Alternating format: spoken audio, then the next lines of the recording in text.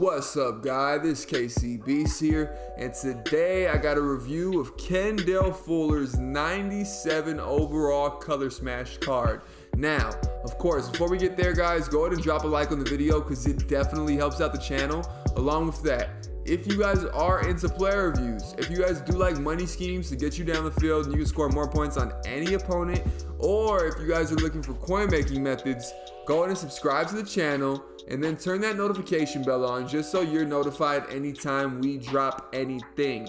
All right, Kendall Fuller's coming in with 92 speed, 94 accel, 92 agility, 89 jumping, 97 play rec, 96 man coverage, 93 zone coverage, and 87 press.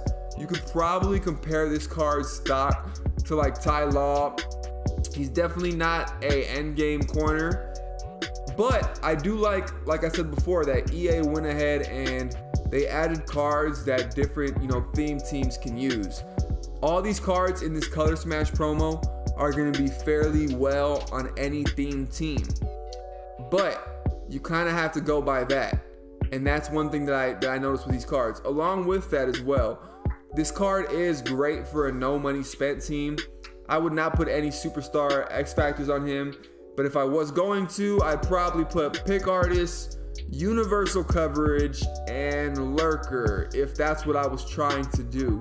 Now, because cornerbacks don't, um, you know, break on the run too often, it's not really his fault the way he plays. It's just kind of the developers and the way the game works. Because I don't have him powered up, he's pretty slow, and you're gonna see him make maybe a few good plays on here. But for the most part, Many of them are going to look like this, where he's kind of just getting outran or he's getting pushed back or held in place while somebody is running down his throat. Pause. Yeah, he can stop somebody from catching the ball when they catch the ball. He's really good at hitting right after the catch. However, he's not going to cause any fumbles because of that. And sometimes I did notice that he would end up like running past the guy in order to like swat the ball out of the air and missing the guy completely. Now, like I said, this could be the fact that I don't have him as a uh, you know powered up card, but I do know that like I said, like right here was a great interception. He played fairly well for me initially, and then towards the end, he just started to show his true colors, uh, which is like this right here. See, he like goes for like a diving swat and misses it, and the guy ends up completing the catch on an out route. It's stupid, but it is Madden and it's in the game. So you kind of have to work with it. Like I said before as well, he's a great theme team card. But I think besides that, um, maybe like a budget B, something that you can use on your squad. But I think there's other cards that are better than him. I think if you ask me, this is the my least favorite out of all the cards that were released with this Color Smash promo that I've used. I haven't used Matt Ryan. I'm pretty sure he's probably the worst. But this Kendall Fuller card, he didn't do anything too spectacular that I was like, oh my god, this dude's a baller. I need him on my team. But I also don't have him powered up. And like I said, I have pretty locked down corners right now. I got Deion Sanders and I have Jalen Ramsey. And that doesn't mean that they cover the whole field, but they, they play pretty damn well. And they're technically 99 overalls. So that's one thing you have to understand. There's a pick he got right there, one on one. He's really good in these man situations. He kind of turns into like a man corner even when you have him in the zone. However, look at him. You can't even see him right there. He's getting pushed out of the screen completely. You're gonna see him right here at the very end. And if you rewind that, you're gonna notice that on the run, he completely gets pushed or stopped in place and just kind of just sits there as like shimmies. Occasionally you'll have that where he kind of like moves the guy over and breaks for the, the runner. Deion Sanders does that every single time. And I don't know what that has to do with. Maybe play rec. I don't know. But I do know that he doesn't play like a top flight corner.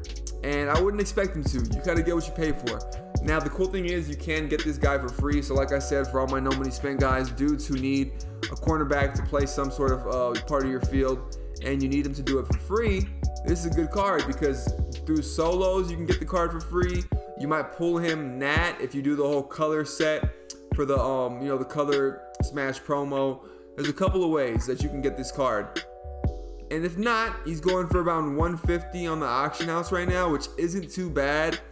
I'm sure some of you guys for your Kansas City themes team, he would be a great card. I, I almost guarantee he'd ball out. But he's short. He's not Bailey. This catch, that's crazy. That's, that's amazing, right? Tyreek Hill just, just juggled the ball. Made no sense. I can't even blame that on him. Uh, yeah, you can't even blame it on him. Look at this diving swat right here. Wow. Puts his hand out, gets the ball away from the guy. It works out perfectly, but it's not consistent enough for me to feel like he makes a difference, you know? Um, his reaction time isn't always the best. And sometimes you'll see that if you ever put him on your team, you'll notice that he'll miss some very crucial plays where like it'll go from third and 20 to first and 10 in the middle of the field because he missed the tackle. And that really, really irked me. Here's another one where he doesn't play his zone too well, but I guess this guy kind of drew him out with the out route. It is what it is. Um, at mechanics. You, can, you can't really blame that on the card. Here's another one though where he should have been playing that completely. And he ends up making the tackle, but he ends up missing his position. And I had him on like a deep blue where he was he should have been able to um, make that make that catch or at least cause some sort of disruption. So Kendall Fuller, when it comes down to it, I think this card is definitely a budget. Is he a baller? Eh. He's not too he's not too consistent, but he will get the job done for you if you need him to for like a no money spent team or for like I said before, um, a theme team. So this is KCB checking in and checking out. I will be bringing you a Mark Andrews review sometime later today.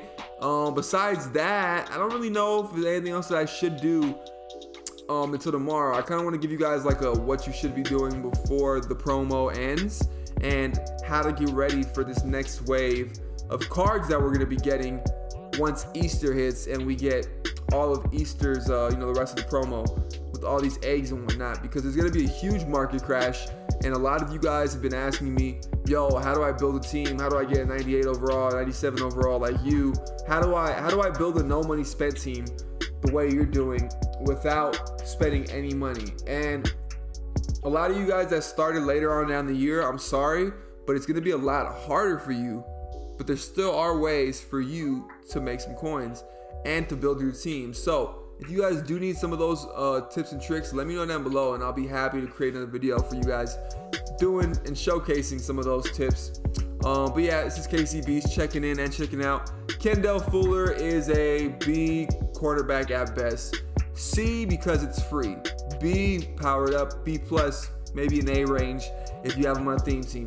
Uh, KCB's checking in, checking out. I've said that three times I think now, but this time I really am checking out, and I'm gonna see you guys next time. Take care.